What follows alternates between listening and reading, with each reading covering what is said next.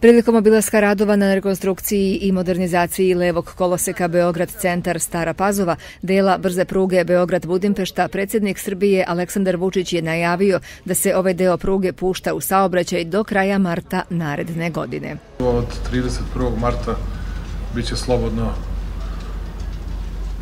za vožnju vozovima.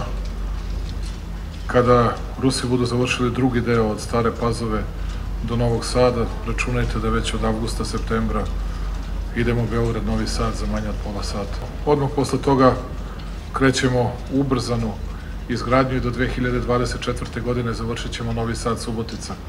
Negde u isto vreme Mađari će da završe svoju deonicu od 153 km i onda ćemo imati put do Budimpešte kojim ćemo, dakle, Beograd, Budimpešta za 2 sata i 45 minuta.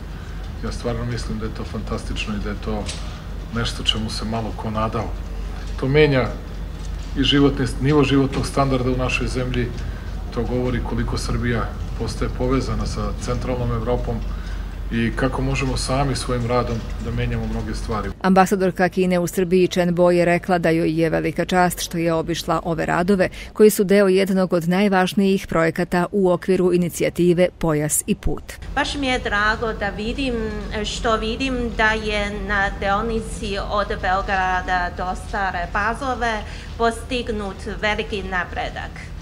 E, i ja bih koristim ovu priliku da iskažem visoko poštovanje i kineskim i srpskim radnicima koje tokom, tokom epidemije uporno rade na gradilištu. Dva postojeća koloseka između Beograd centra i Batajnice biće rekonstruisana, dok će između Batajnice i Stare Pazove biti napravljena dva nova koloseka. Predsednika države je dočekao prvi čovek Staropazovačke opštine i naglasio da je ova poseta od izuzetnog značaja za opštinu, te su ovom prilikom razgovarali i o drugim temama.